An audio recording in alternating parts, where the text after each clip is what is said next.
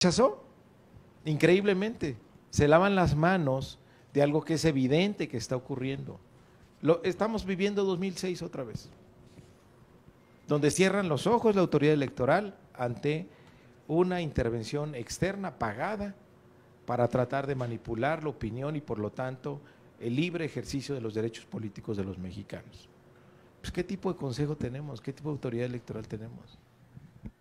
Protocolo era muy claro, no era, invasivo de las libertades.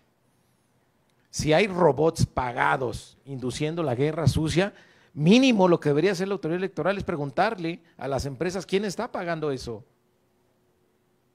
¿Por qué no es posible?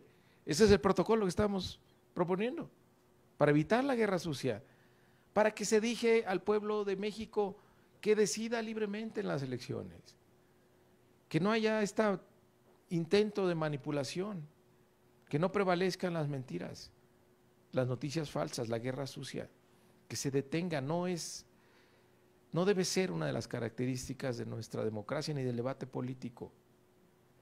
Entonces, no muestran nivel, no muestran tamaño, son burócratas. Ah, eso sí, prometieron defender la democracia. Pues que defiendan la democracia.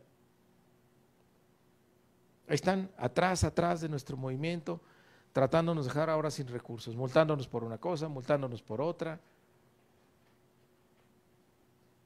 Que asuman su responsabilidad, que estén a la altura del momento que está viviendo nuestro país, que demuestran que su compromiso es la libertad y el libre ejercicio de los derechos políticos de los mexicanos.